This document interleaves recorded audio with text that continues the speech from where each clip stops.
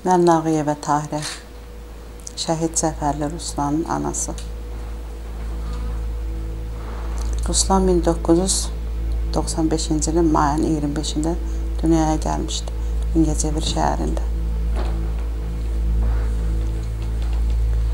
7 yaşında birinci sinifə gedib. 4 nömrəli məktəb, orta məktəbə gedibdi. Birinci sinifə.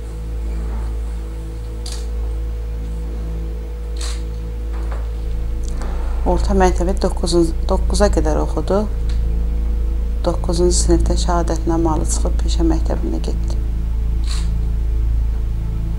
2 ildə peşə məktəbində oxuyubdu. Peşə məktəbini qutarandan sonra əskər getdi. İyulun 3-də elə bil 13 13-cü ildir, hə. 13-cü ildə iyulun 3-də əskər getdi. Gədəbəy zonasına düşmüşdü. Gədəbəyin ən ucqar kəndində Güyəli kəndi vardı, orada postaydı. Çox can atdım, ey oğul, çıxma yuxarı, gəl aşağıda saxlayaq səni də. Aşağıda qaldı ki, mama yox, qoy mən yuxarıda qalım. Postda qalmaq yaxşıdır. Bir il 6 ay orada Suruçda əskərliyin çəkdi. Əskərdən gələndən sonra da nəm işi ilə bağlı Rusiyada gedirdi iş. İş dalınca gedirdi də, ali təhsilli deyildi. Türkiyədə gedib gəlirdi. Axır vaxtda bu pandemiya başlayandan Azərbaycanda iş tapdı, başladı burada işləməyə.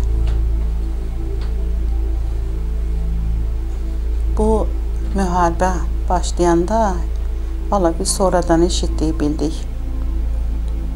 Dedilər iyul döyüşü, iyul ayının döyüşləri olanda Ruslan onlayndan qeydiyyatdan keçib özün səfərbərliyə yazdırıbdı. Amma biz bir kəlmə də bilmədik, xəbərimiz olmadı. Heç məlumatımız olmadı. Sonradan bir özü şəhid olandan sonra yaxın bir dostu gəldi, dedi ki, mənim yanımda keçdi qeydiyyatdan keçdi ki, səfərbərliyə yazdılar. Sentyabrın 21-də Paviska gəldi ona. 21-i günü.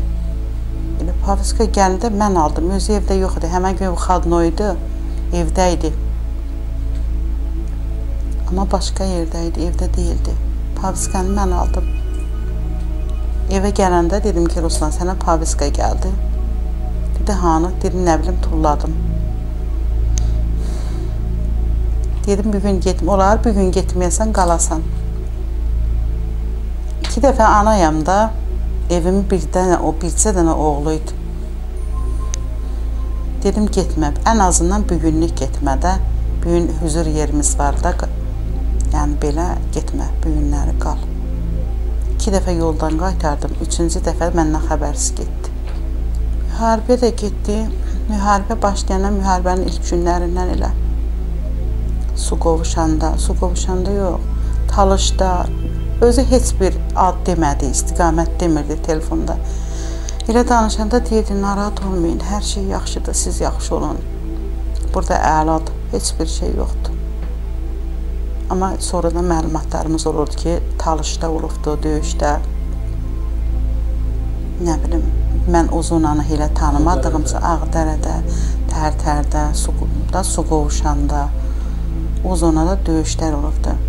Bir dəfə onları ağır döyüşlərdən çıxan əskərlər ASTV-dən göstəriblər, amma biz görməmişdik. Elə o şəkildə evdədir.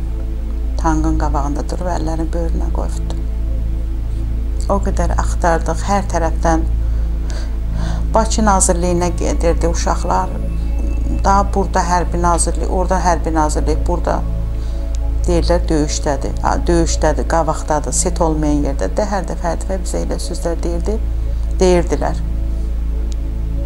Ta ki, müharibə qutardı. Noyabrın 8-ci günü idi müharibə. 9-una keçən gecə idi də, qələbə çalınanda.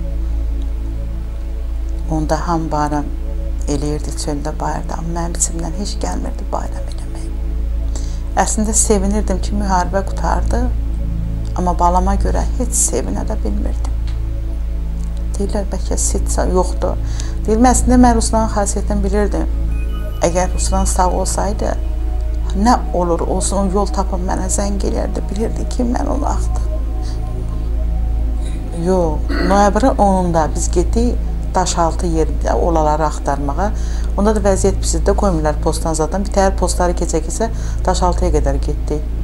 Orada əslində atasına deyiblər. Onlar şəhiddirlər, neytraldadılar. Qayıtdıq, gəldik evə. Deyinləri fəxr eləyin, oğlunuzla belə oğlunuz. Eləyirəm, şükür Allaha. Fəxr eləyirəm. Düzdür, oğul nə üçündür? Vətəni qorumaq üçün, ananı, bacını qorumaq üçün.